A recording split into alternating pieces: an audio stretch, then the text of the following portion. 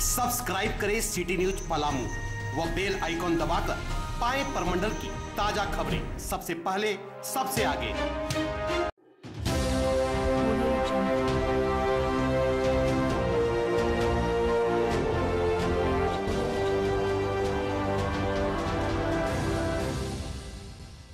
बालूमाथ मुख्यालय स्थित दुग्ध केंद्र में बीती रात अज्ञात चोरों ने दुग्ध केंद्र का ताला तोड़ उसमें रखे दो बैटरी और एक मोबाइल का चार्जर चोरी कर लिया। वहीं भुक्त भोगी ने बताया कि रात्रि साढ़े सात बजे वो ताला लगाकर घर गया था।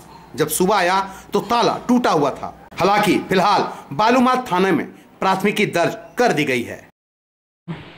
घटना घटी रात में यहाँ दूध किसान लोग के कलेक्शन होता है।